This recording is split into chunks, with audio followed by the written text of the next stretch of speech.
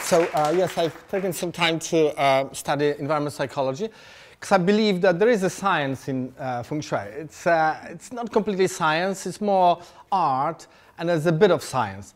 But there's more and more uh, science sort of coming forward, and um, believe it or not, there are probably about 12 or 14 scientific papers on feng shui specifically, and there are probably about 100 uh, papers that mention feng shui. So it's happening. But it's been going on for a long time. 4,000 years, uh, probably. And the environmental psychology is going on just literally 400 years. So it's a new uh, sort of uh, discipline. But the definitions of uh, feng shui and uh, environmental psychology are almost the same.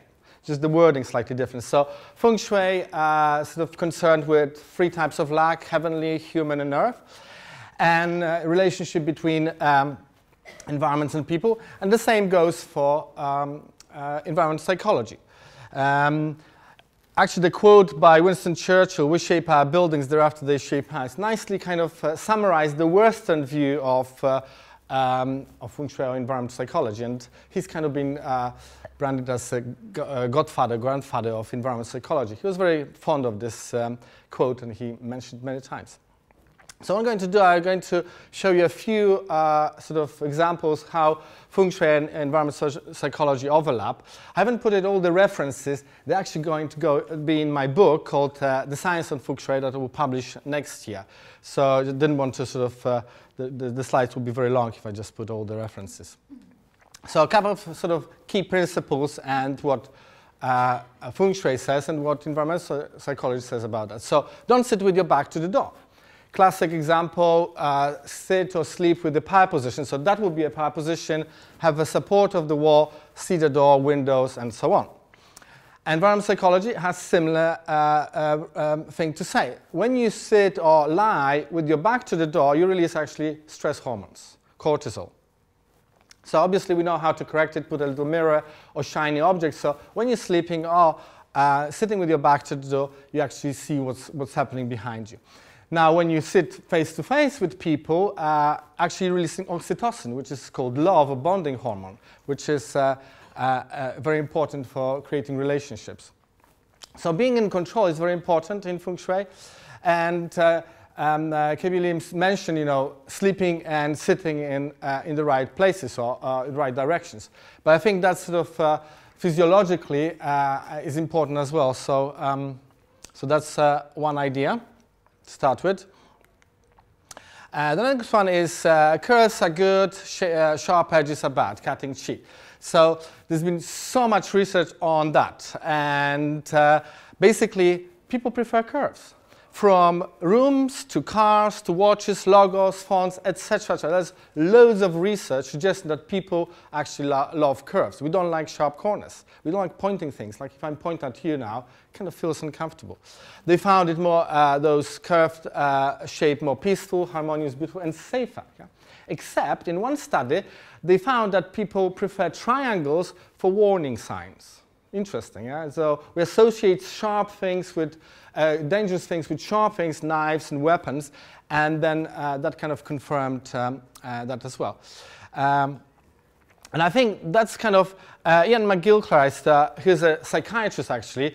Uh, he's written a very, very good book, probably a Bible now, on brain, how brain works. And he sort of suggests that actually um, um, having sort of square shapes doesn't bring the harmony in, in the environment. And that's a brilliant quote uh, so suggesting that as well. Have you seen this place recently in papers? I might not see it. Uh, it's like looks like a hobbit place. Yeah. Uh, Simon Dale, you can go to his website and see more of the images. Build this beautiful place, completely organic, in four months for three thousand pounds completely organic. He got some land from, uh, uh, in Wales from somebody to look after the land. I want to sleep in that place. It's so beautiful inside. You get the vibe, you get the you know, fractality, you get the sort of coherence of the place. So there's a lot of different sort of uh, pictures to go online and see, but it's just beautiful.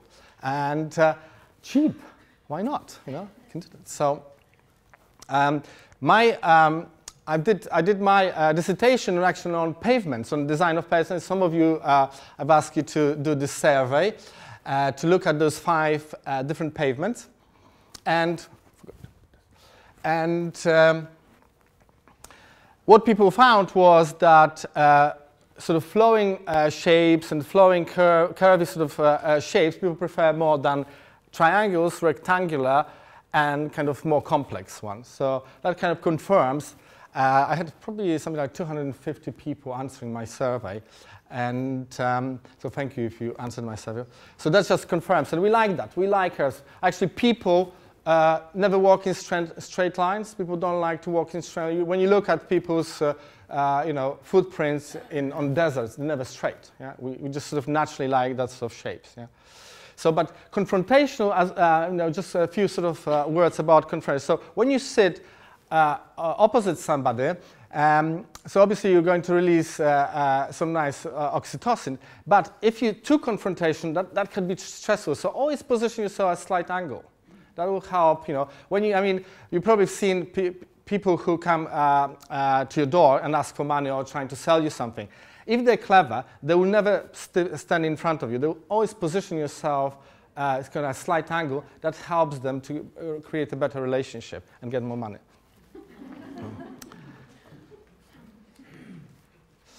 Uh, mirrors, um, so powerful uh, tool in uh, feng shui.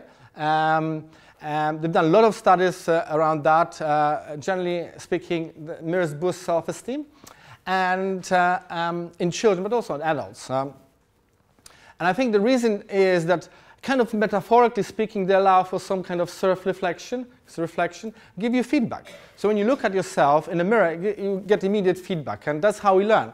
So um, it's a very useful uh, thing to remember where you place the mirrors and how, what they reflect and so on.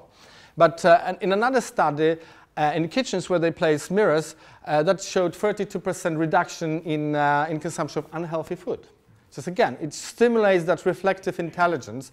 That's probably my, one of the most important intelligence that we have that kind of helps us to learn.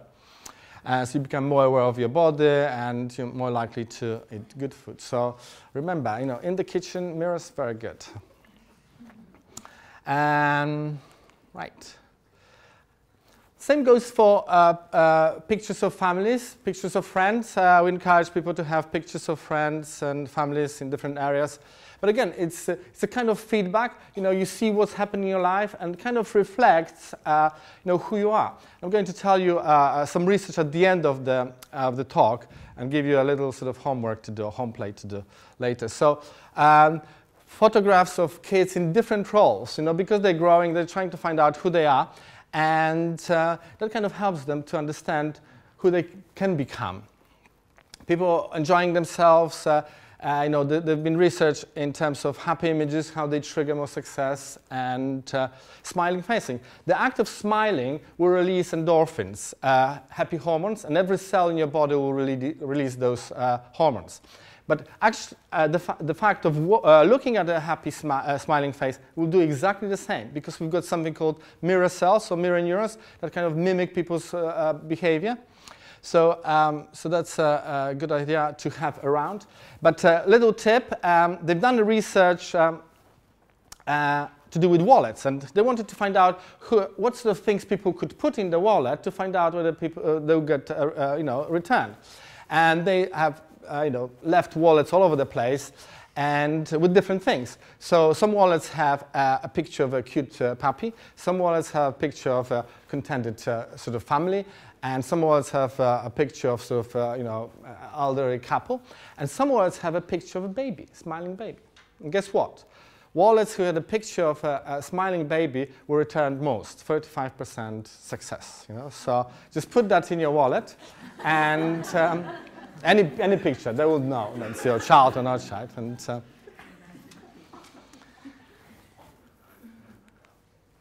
so yeah, that's, uh, you know, that's, uh, I took a picture of, of this wall in my friend's house. And the whole wall, I had to put several sort of, you can get them in IKEA, I think, those magnetic uh, um, uh, boards, because took all kinds of things, what's happening in life. And it's a nice sort of, uh, you know, uh, reminder of what's going on. And you can move and, and change and you know, just help you to remember what's going on in your life. Because um, uh, we are very social beings, you know, that's how we work, you know. Uh, um, in psychology, there's only one psychology, social psychology. Uh, and that's what uh, uh, the whole thing is about. And by creating bonds with, pe with people, actually, you're going to be more successful in anything you, you, you do. So um, another uh, aspect of feng shui is how feng shui actually works. So I've been uh, doing feng shui for some time now, and I'm sort of always thinking, what are the sort of key uh, scientific sort of discoveries that we can uh, utilize to, to explain how it works? And my definition of feng shui is intention plus relationship plus ritual. And the Christian was talking about intention and alignment. And re relationship could be anything, could be alignment, could be energy, something that connects the intention with what we're actually doing. So that's my sort of definition of how formula, how feng shui works. But uh, I believe that feng shui works because of the placebo effect. So placebo, we know it's a fake pill that produces good results. Yeah? And uh, uh, most people think that's a bad thing. Actually, placebo is the best drug on this planet. Do you know that almost half of the German doctors prescribe placebo? In Bavaria, it's 80% of doctors pres prescribe placebo because they work. It's as simple as that. It works. Yeah? Because your brain, as you've discovered earlier, just by smiling you can release some hormones, uh, endorphins. Your brain can produce all the drugs that you want to uh, have in your body. Yeah? So whatever you believe will affect how things work. Yeah? So, and for the first time, they've done some meta-studies on placebo research. For the first time, placebo outperforms all medicine, all allopathic medicine. It's outperformed placebo. Unfortunately, uh, pharmaceutical uh, companies can't make money out of it. They, they hate it. They hate placebo with vengeance. Yeah? So, so that's, that's what uh, uh, a placebo says. It's a self-fulfilling prophecy. So whatever you want, you can anchor that within your space and uh, make it happen. Uh, another uh, useful uh, scientific discovery is quantum theory. Quantum theory is probably the most successful scientific theory that we have now for two reasons. It allows very accurate predictions and it explains things. Two things that science is good for you know, explanation and uh, how things work and prediction.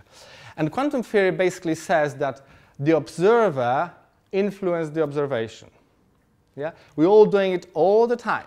And by thinking, oh, quantum theory is somewhere there, it's a kind of spooky phenomena that people sort of measure in some uh, labs. No, actually, it's happening in your body right now. Your body is quantized. A lot of processes in your body are completely quantum not only on a physical level, but also on the mind level. And the science kind of confirms that. So, and uh, the next point is change is good.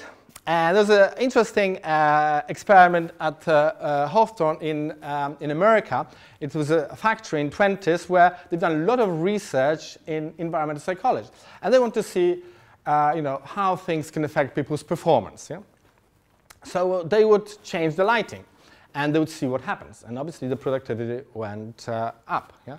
So they would change the position of desks. Again, productivity would go up. Yeah?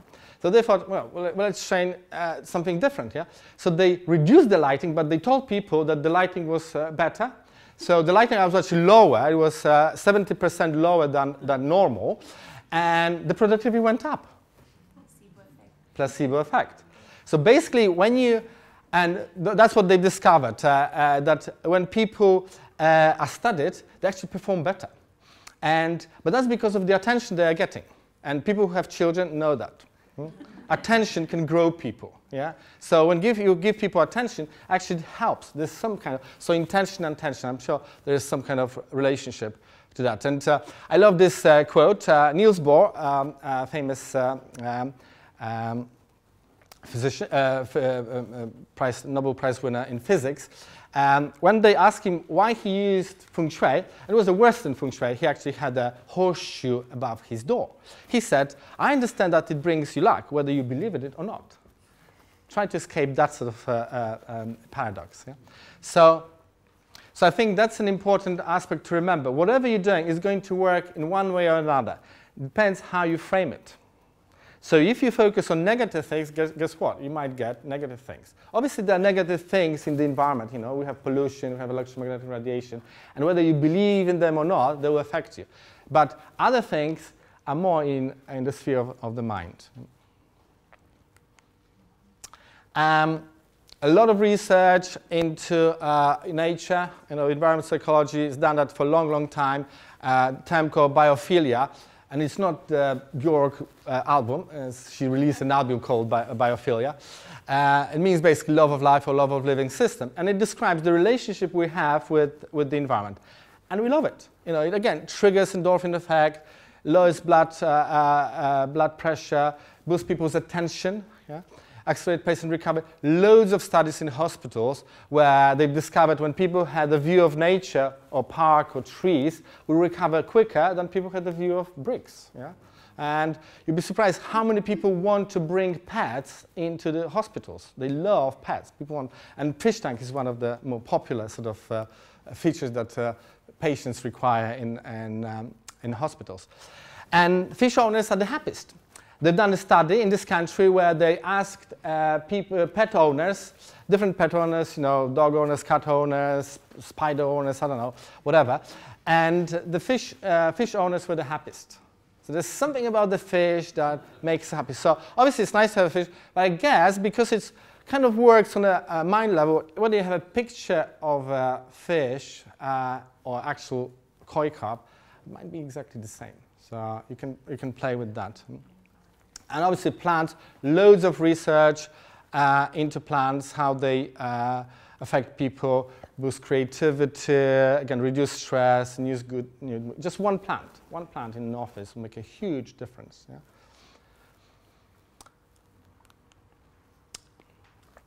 Okay, uh, directions. So um, in Eastern Europe, uh, interesting enough, most people, you'll be surprised, I went to Estonia uh, uh, a few years ago, and I discovered 80% of Estonians were sleeping with, the, with their head towards the north.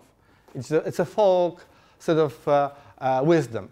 And a lot, of, a lot of people do that. Actually, but in this country as well, uh, um, um, Dickens used to carry a compass wherever he would go. He would carry a compass to make sure that he would sleep with his head towards north. Yeah?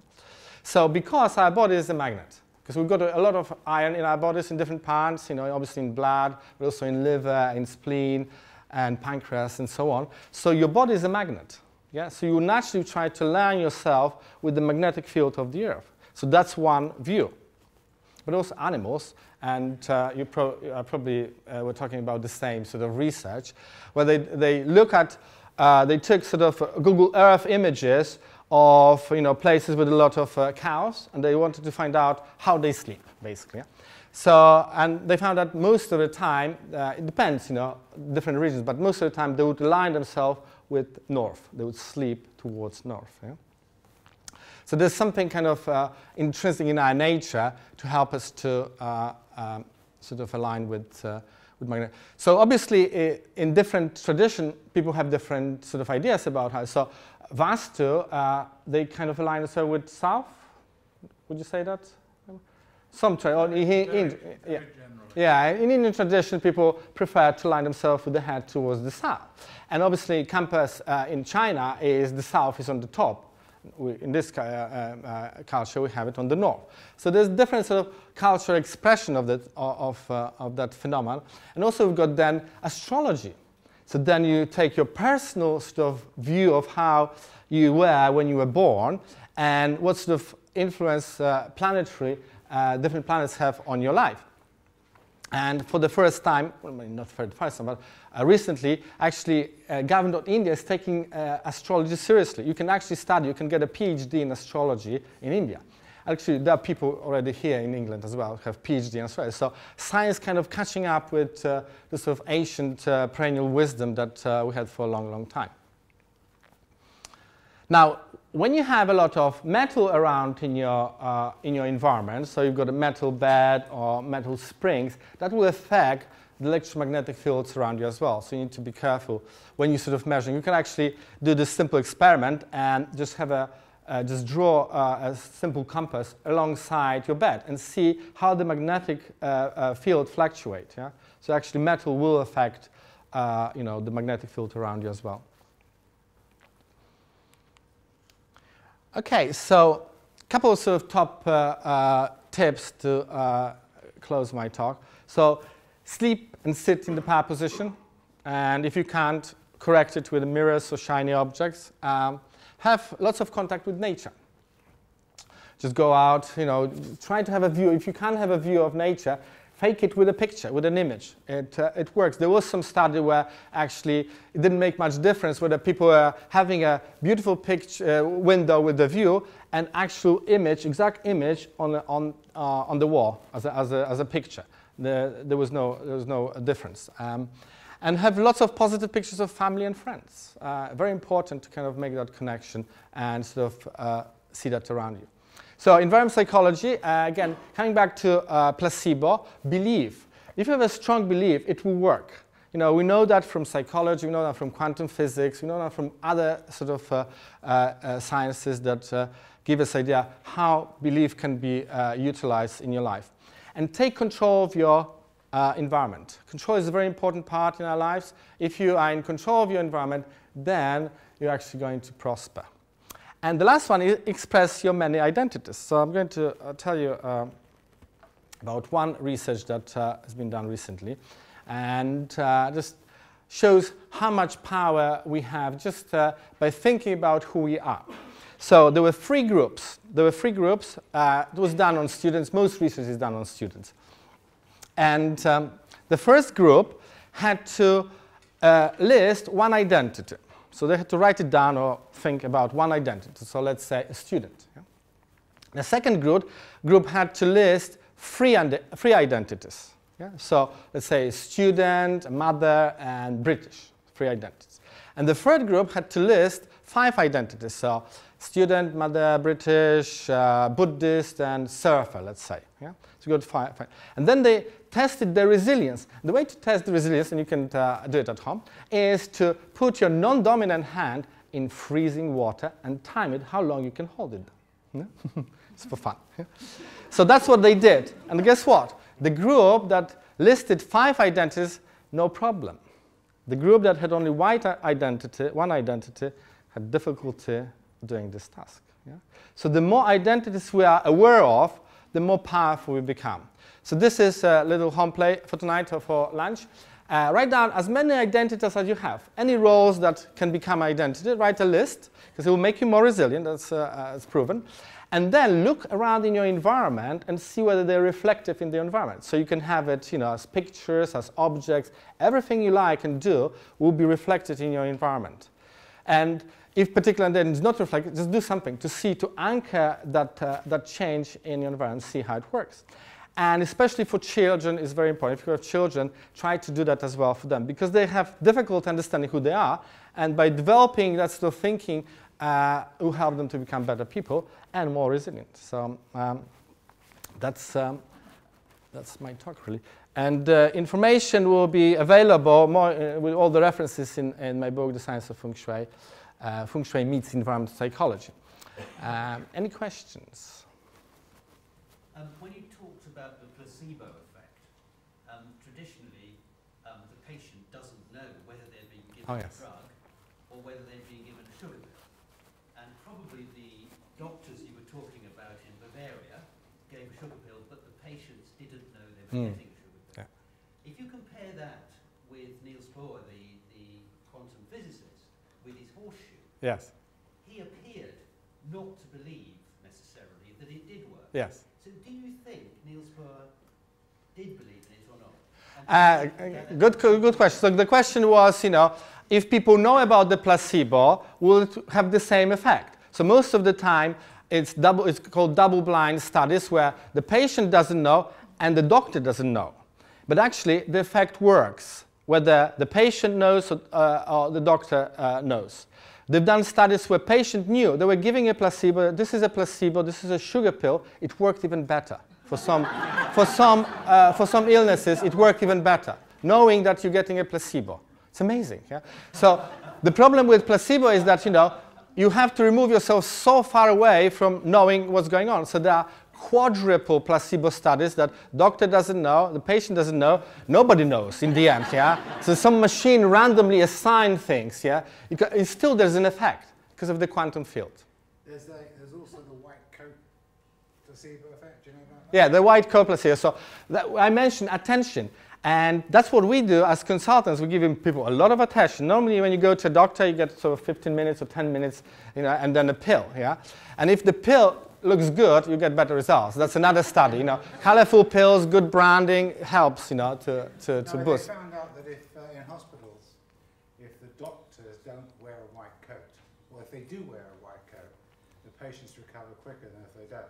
Oh, that's fun. There's fashion now for doctors to go and see patients without wearing a white. Coat. Yeah, that's that's uh, that's uh, yeah. So that's uh, that's a good point because of probably uh, do, uh, um, um, Dr. House film. Yeah. So because he's not wearing a coat, it kind of makes makes it more cool. Yeah. So yeah, there are lots of different things, but it doesn't matter whether you believe in it or not. It will still work. Yes. Because of the morphic field. So certain rituals will work better than others. So in, uh, in Chinese culture, uh, in Eastern culture, number four has bad reputation.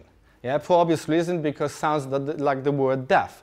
And if I was from that culture, I might have a problem with that. Yeah, but I'm not. It's not going to affect me. It doesn't. It's it's completely culture-specific phenomena. You could call this superstition because it's culture-specific. We're talking about universal things like placebo. It works everywhere, and the studies uh, they've done all over the world prove that actually placebo works. And it's a good thing. It works. It's not a bad thing. You know, obviously the pharmaceutical companies don't like it, but that's their problem, you know. So any, any other questions?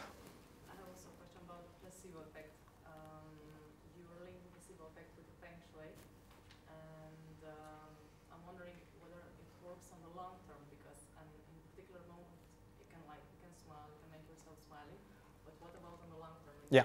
So the question is whether the placebo works over a long time. That's a good question because that uh, uh, Hawthorne effect that in that factory, what they discovered, the change, when they make a change, the productivity would go to a certain level and then plateau.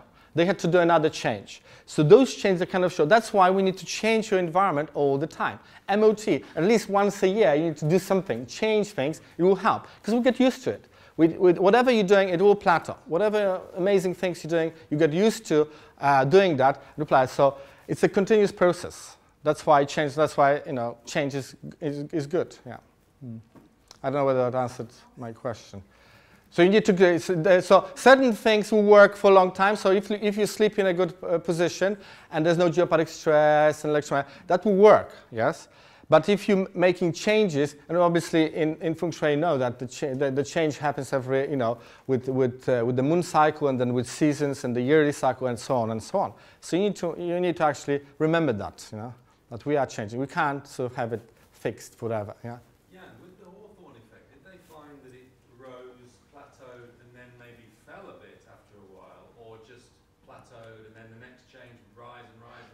Yeah, because the, the study was done in, actually, that's a good question, because uh, they, were, they were doing lots of experiments. So uh, there could have uh, been sort of a, a, fall in the productivity, and I'm sure that would happen. Because from other studies, I know there's always a fall, yeah? And you need to do something. So you need to, uh, you need to remember that, you know, you need to sort of enhance your environment in whatever way, you know, uh, you can, yeah. Um, feng shui is obviously very, chi very Chinese.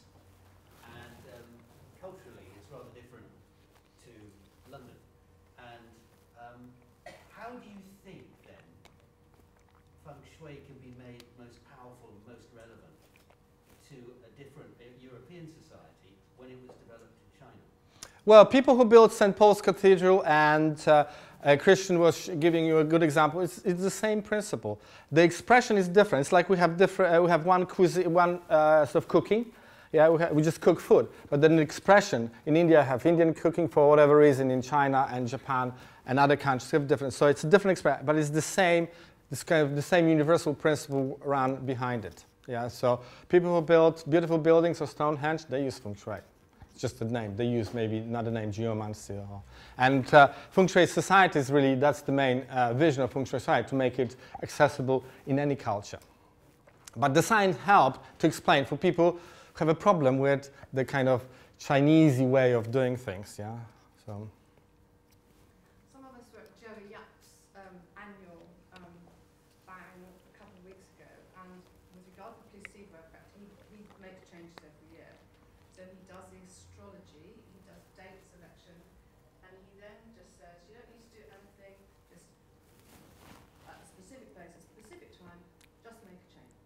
go and paint the wall, move a piece of furniture, mm. it initiates the change